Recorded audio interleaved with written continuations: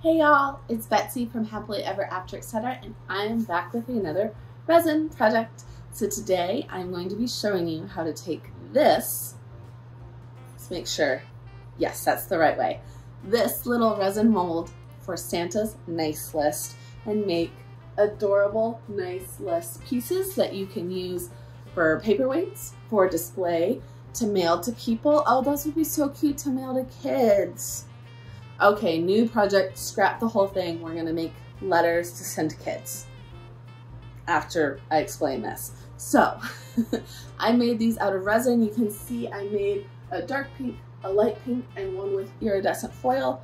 I put white on all of the words. So I'll try to hold this still, but you can see there are all of these ridges in here and the way that turns out when the pieces are made you can fill them in with paint, whatever kind you like, so that it's easily readable and it's super cute. So it says, you are on the nice list, love Santa. And I decided the best way to display this was with some envelopes and a mailbox for my Dear Santa letter sign display. So I made this Dear Santa sign a few years ago. I made these cute postage stamps this year. I'll leave a link to both of those videos below. But these, however cute they are, they were a little too small just to make and hang on the wall. They needed something behind them.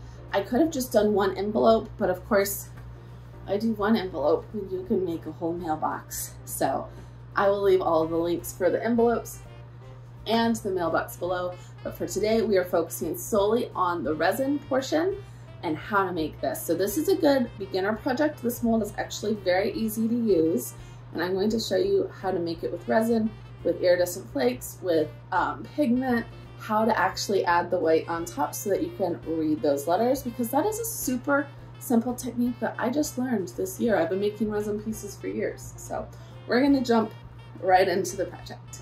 All right, y'all. So we are going to get started. As you can see, I have quite a few projects out here. So when I pour resin, I like to be able to mix up quite a bit of resin, maybe in a couple colors. Today I'm doing iridescent and rose gold, and then pour a few projects at a time. That way I don't have to just do, you know, a couple, couple little bits of resin. So first we're just gonna go ahead and mix resin, and then we will jump into each project individually. So first things first, since I'm doing two different colors, going to go ahead and mix, I think, I'm thinking 300 milliliters and my big cup here. So I'm going to do 150 of A, 150 of B and mix those thoroughly together.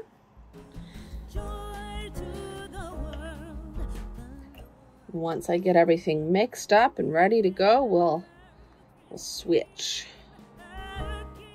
So make sure once you're actually working with the resin here, that you have your gloves on and that you have your respirator on. So I'm to go ahead and put my respirator on and I'll I'll try to put some instructions up here on the screen since you won't be able to hear me anymore.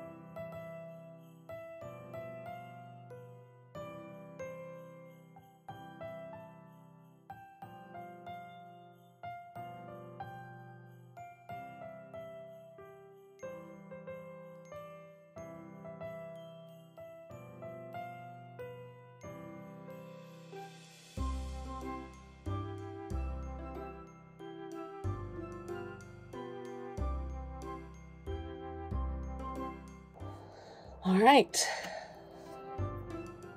So this was obviously my last one. And I don't know, but I feel like there's going to be more bubbles in this one.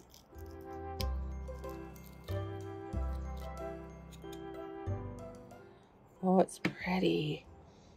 Okay, so the way this mold is, all of these filigreed areas kind of have more of a, like they definitely have a different shine.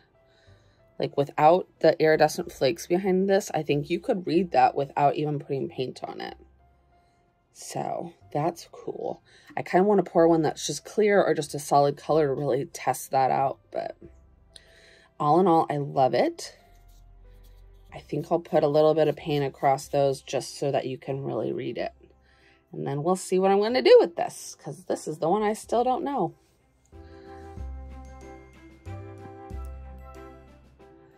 All right.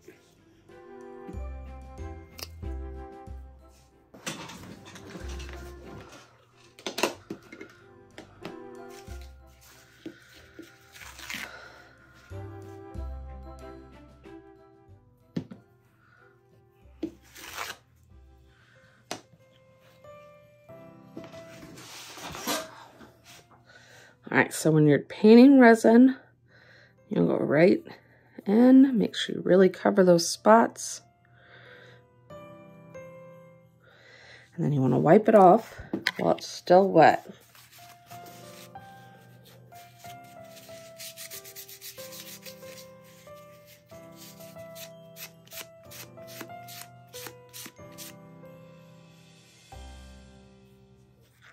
See how much easier that is to read already?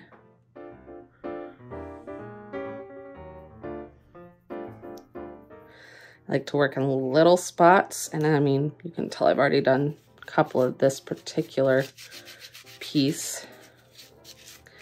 Work from the middle out on this one.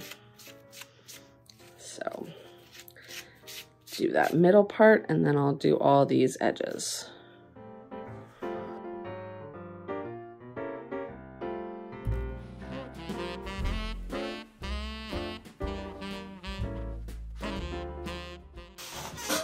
All right, so this one being iridescent, it was always going to be hard to see.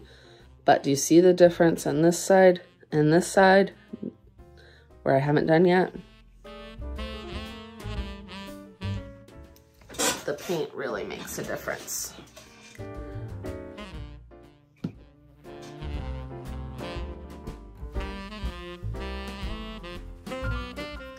Of course, if you really want them to be legible, don't use the iridescent flakes. Or maybe the iridescent flakes in a solid color, but the iridescent and this clear is kind of batting a thousand. That's why I made the other two solid colors. Made this one first.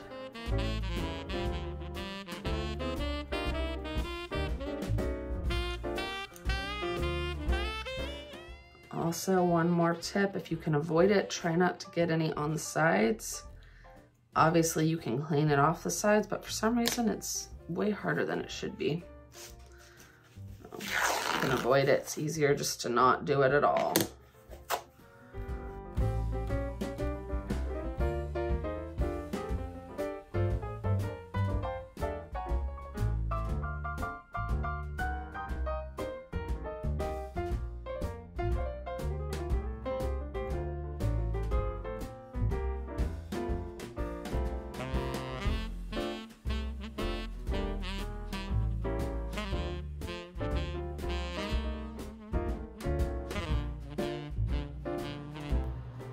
All right, y'all.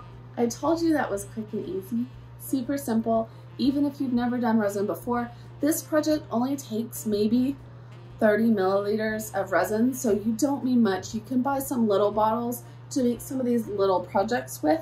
I actually think I did 100 milliliters for the Maceless, two of these postage stamps, and one of the um, Schitt's Creek keyring pieces that I made. I'll leave a link to that below because they turned out really cute, but they're not Christmassy. So, I mean, you don't need a lot. A little goes a long way with these small molds. and they're super fun to make. So if you liked this project, like, comment, subscribe, hit the bell, turn on notifications because I am rolling out a whole line of resin and Cricut projects for Christmas leading up to my Christmas home tour for 2021 where I show you how I displayed all of them in my home because I love them. All right, bye y'all.